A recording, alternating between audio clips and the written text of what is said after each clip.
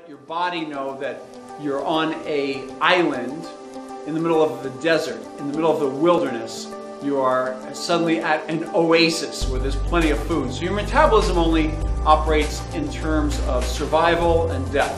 What does it take to survive? And then eventually, uh, there's death. Hi, this is John, and welcome back to Mr. America Heart. I appreciate you stopping by. Today I'm talking to you about the difference between a refeed meal and a cheat meal. So look, here's the thing when we get started on a diet plan or on a good eating plan. Generally, we don't like to use the word diet too often. It gets people all ugh, in the head, okay? So look, when we do this, you have to make a decision from the very beginning. You have to be honest with yourself, first of all, if you're handling your own eating plan. If you're handling your own eating plan, you need to say, hey, look, do I need to have a little bit of a cheat type of a meal for more for my head than for my body? Because that's really all it's for. It's more for your head. It's not so much for your body. When we talk about having a cheat meal, we're talking about going and getting a little bit sloppy. So you've been dieting, you've been eating correctly all week long on your meal plan, You've stuck to it. You've done the best work that you can do. You've done all of your workouts and your cardio during the week on a good fat loss cycle. Now you hit the point where you say, hmm, I'm just craving X. What are you craving?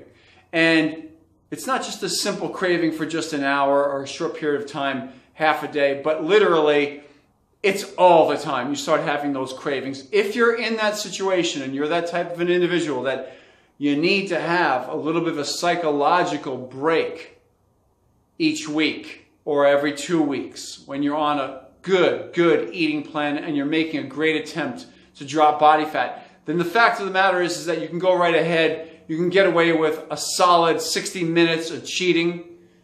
I said that, 60 minutes from beginning to end. From once the food is served or once you've made the food and you're about to dig in, take 60 minutes from beginning to end and go off.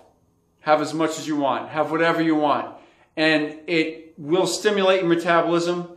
It'll definitely clog up the digestive system a little bit. Uh, it won't feel too good as you'll probably be stuffed out of your mind uh, long before the hour is up. And then, on top of it all, you'll, your body will definitely feel a little bit better for having had most likely more carbohydrates, more sodium than you're used to at that point, and some good fats. So you'll be very, very satiated. You're satisfied. Your hunger will be gone after you eat a meal like that. And then this is the purpose that is now served. You can look at it in a positive way. Your metabolism will be spiked for the afternoon or for the evening. It'll rev up. It'll let your body know that you're on a island in the middle of the desert, in the middle of the wilderness, you are suddenly at an oasis where there's plenty of food. So your metabolism only operates in terms of survival and death. What does it take to survive? And then eventually uh, there's death. So when it's trying to survive, it does its best work to keep you alive. And that means that when you're on a prolonged eating or diet plan and you are reducing your body fat on a regular basis, your body will catch on to what you're doing and it doesn't want to give up too much of the reserves in anticipation of saving your life.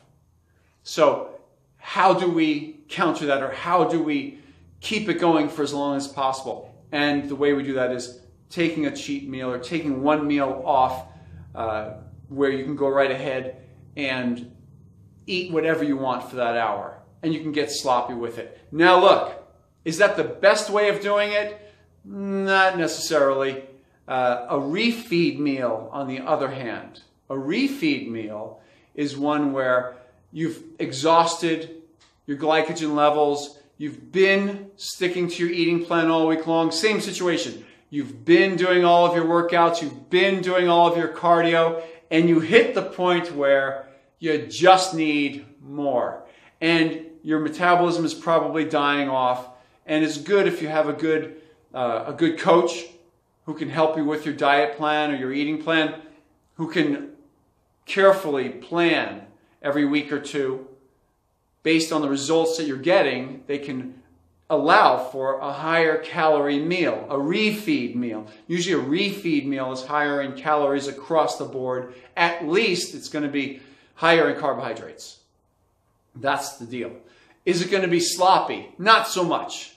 Is it going to be higher calorie? Yes. It's generally the same foods that you've been eating, but a nice bump up in calories, maybe double the portion or triple the portion of everything that you're eating. Again, that's up to your your eating coach, your training coach to let you know exactly what's the best for you to do. And then maybe it takes a little experimentation to find out the exact amounts that you should eat, or maybe it'll be unlimited for an hour, but a, rare, a, a fairly clean refeed as opposed to the cheating that I just described, right? A cheat meal would be something like pizza, cake, ice cream, you know, just pure junk, tacos, all thrown together.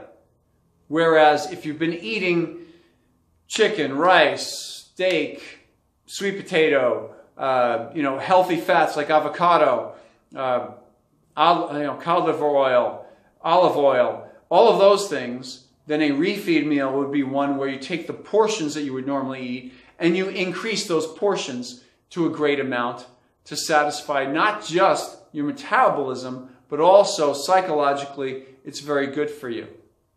If again, you have to be honest with yourself. If you're the type of individual that can do that and be satisfied with not having the pizza or the cheeseburgers or the hot dogs, whatever it is, then by all means, the refeed meal serves that purpose just the same as a cheat meal and probably better because when you have a refeed meal with clean food or the same foods that you've been dieting on, your body is used to digesting those foods. Will it back up your digestive system? Most likely not. Will you experience a heaviness afterwards? Most likely not. Will you experience things like diarrhea, constipation, all of that afterwards like you would if you were to go off on a cheat type of meal? Most likely not when you do a true clean refeed. So, again, being honest with yourself and with your coach, work on it together, decide which way is the best way for you to go. As, as a training and diet coach, I've helped people do it both ways. I have no preference either way, to be honest with you. But in being honest with them and them being honest with me, we usually work out a good plan where they could have a meal off, but not getting too, too sloppy usually. Now, again, I could do it either way, and we still, in both cases, get the results. So it's a matter of controlling it the way that we need to the rest of the week. So that's it. Something to consider for you if you're handling your own eating plan, something to share with your coach if someone else is doing your training and your diet plan. But always communicate with them and get across to them your individual feelings, your individual needs and desires as you go without constantly getting emotional about it because you have to realize your body is a survival machine. It operates on fact, just simple fact. If you're having an actual cheat meal, it's more for your head than it is for your body. And that's it for today. From my heart to you, John Heart, thank you for stopping by. Hey, before you go, if you don't mind, on your bottom right, you're going to see a red button down there, that subscribe button. It's free to do. And when you hit it, go ahead and hit that button right there. I'll wait for you. Hit that subscribe button. When you hit that subscribe button, You'll get notifications for when I have new videos coming up. So go ahead and hit that. And if you don't mind, on your bottom left, the thumbs up.